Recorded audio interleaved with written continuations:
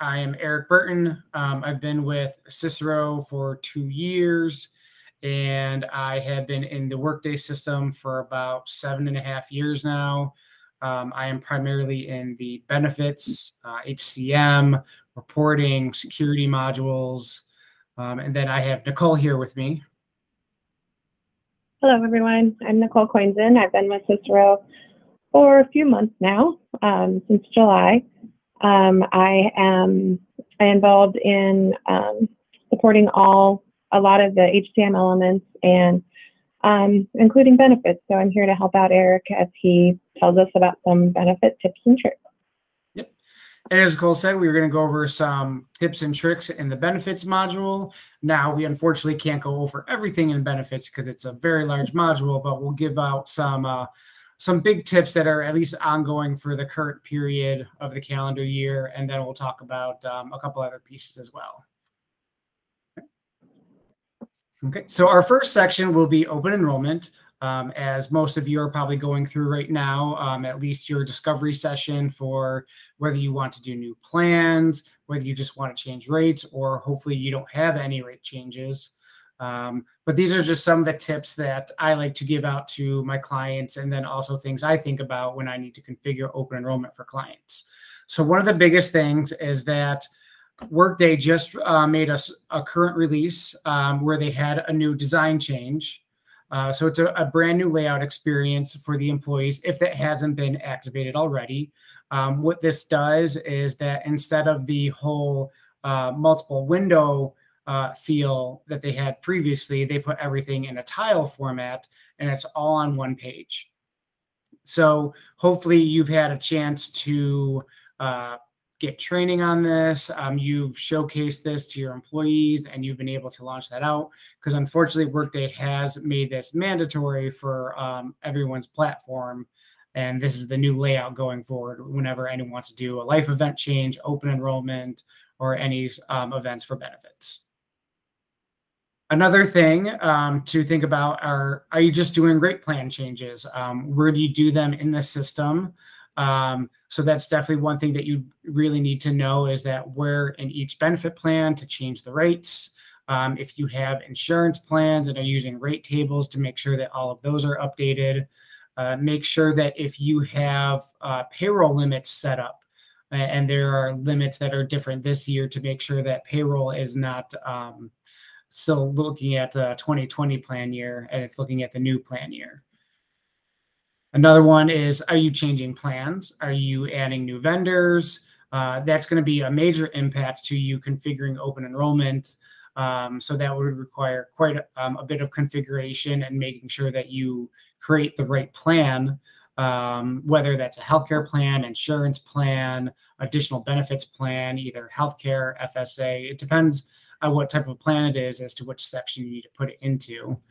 Um, the next section would be integrations are your current integrations still working? That's very uh, necessary right now. You want to make sure that all of your integrations are working. And then if you're changing a benefit plan or you're changing vendors, um, those could require brand new integrations.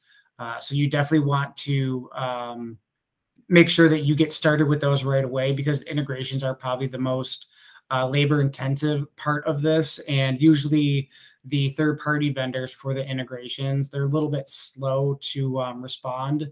Um, typically, uh, most of our integrations consultants here say to give them at least four to five weeks, um, only because there's usually a lack of communication and there's also a lot of back and forth testing.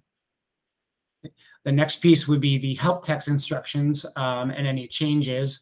Uh, most um, instructions do have like dates in there saying referencing like last year's benefit plans, last year's rates, or maybe different uh, websites.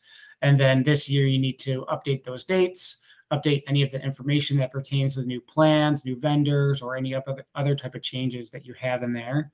And what's great is that Workday's latest release, um, before you could only do instructions for certain areas, whether it was a healthcare, insurance, additional benefits. So you're only limited to updating instructions there. They have now updated their instructions to you can do it for a medical plan, for a dental plan. So that way you can actually separate out all of your instructions uh, per each little um, icon that they click into. And then the final section would be enrollment rules. Um, whether you have um, started new type of benefit events um, for your employees and whether you need to update those rules or just to validate that your current uh, rules are working right now.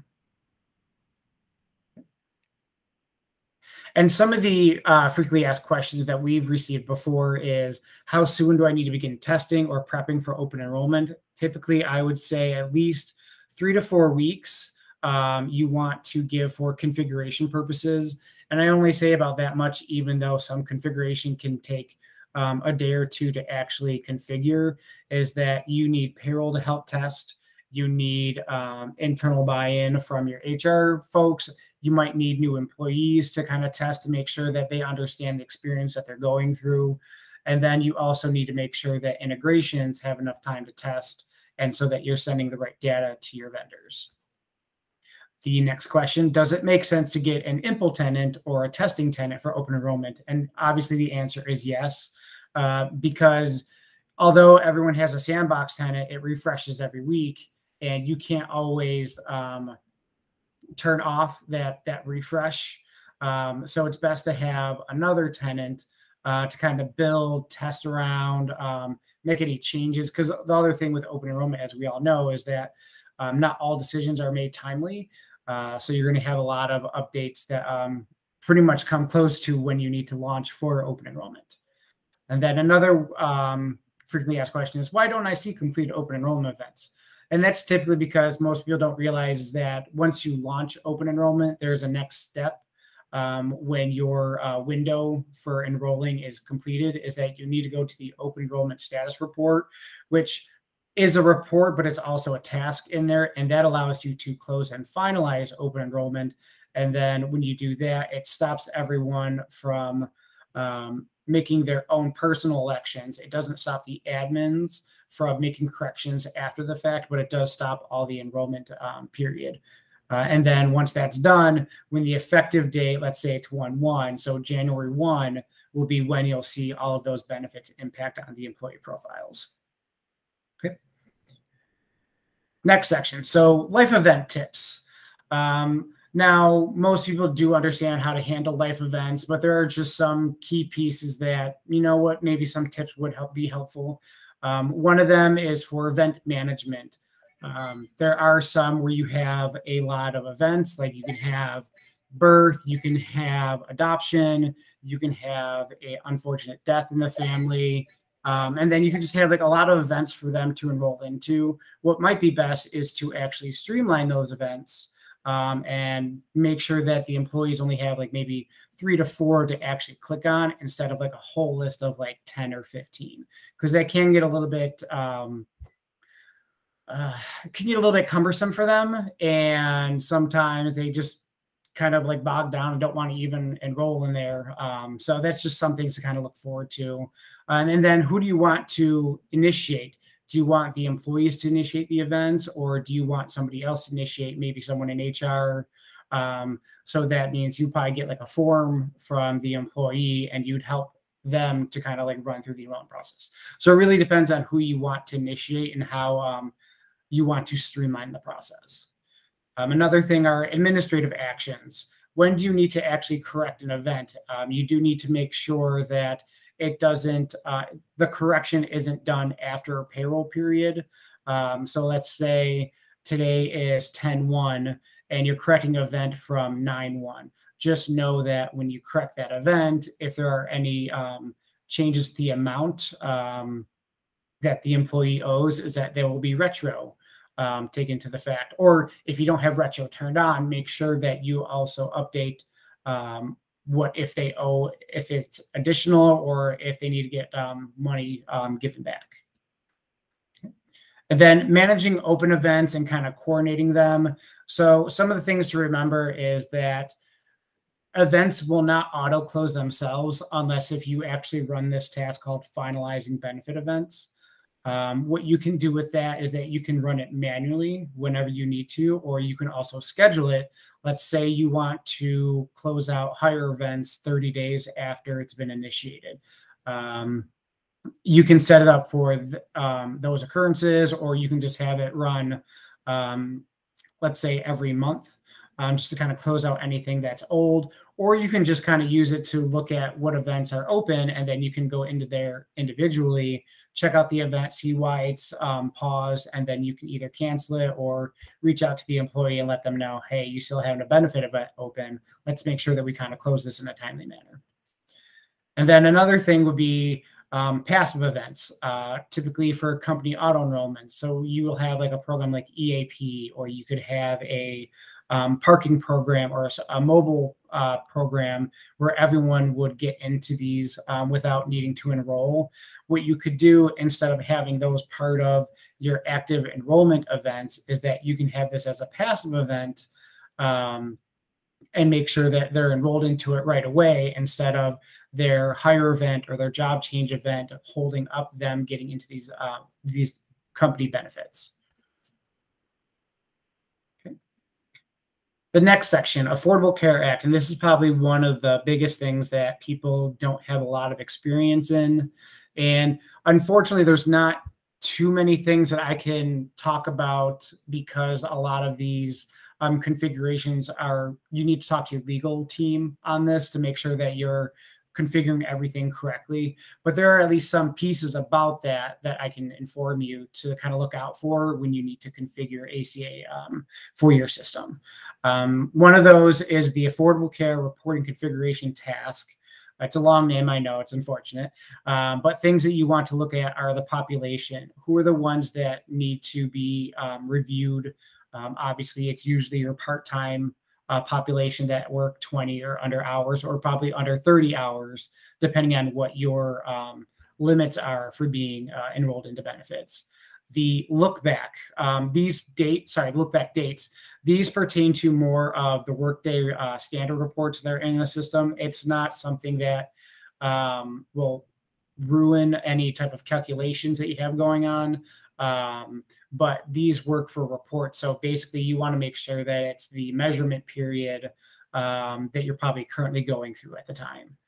Uh, the next would be the hour source, making sure that all of the um, hours are being tracked. Typically, it's got um, tracking through the scheduled weekly hours, uh, um, track through payroll, and then there's also tracking through an EIB load.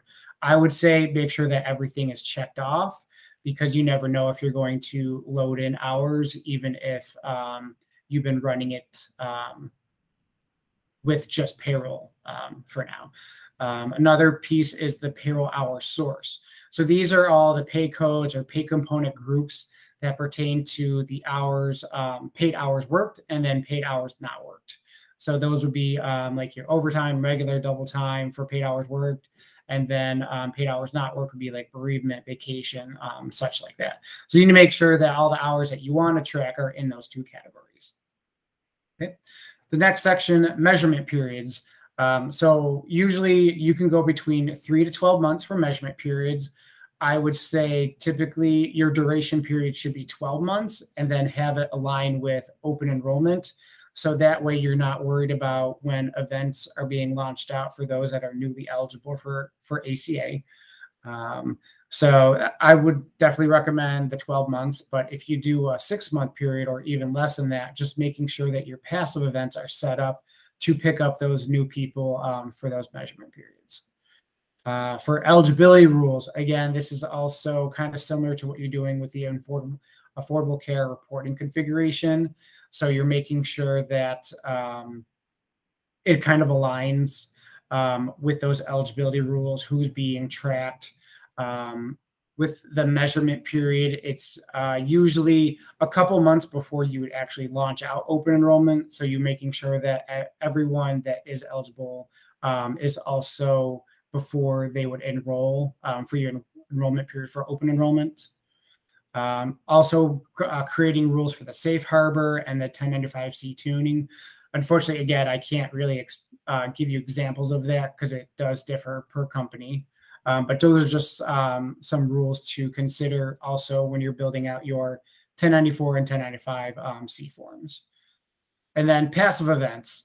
Um, this really does depend on what your configuration is, but generally you have um, one passive event to make sure that you're picking up anyone that's newly eligible.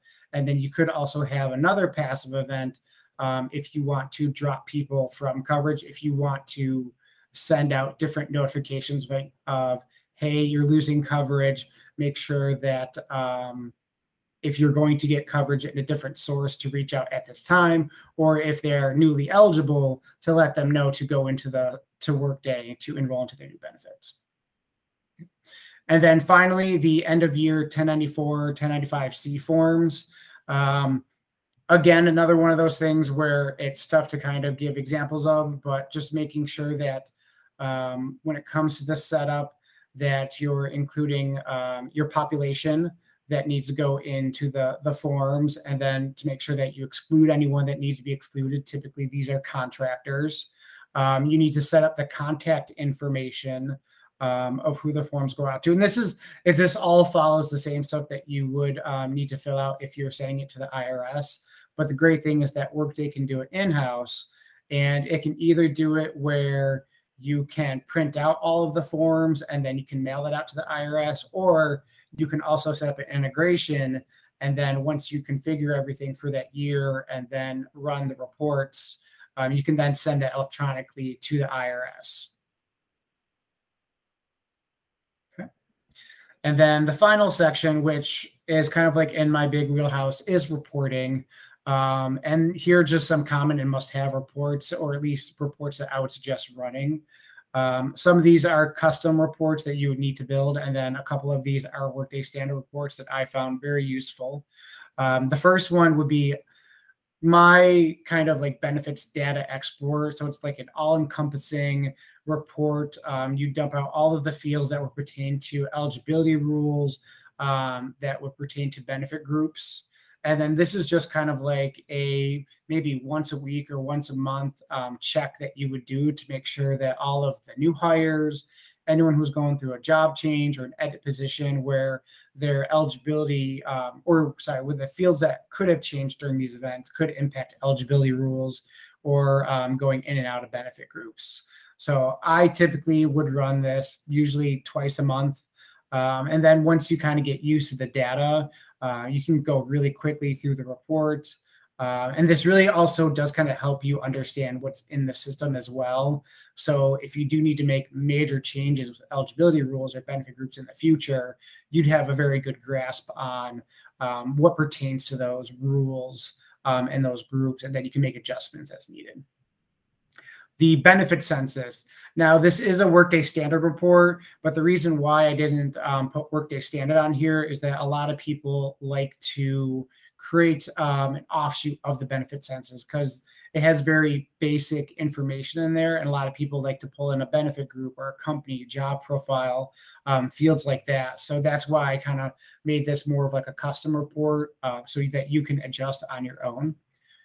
And then the benefit premium report. This is a Workday standard. There is also a way to make this a custom report.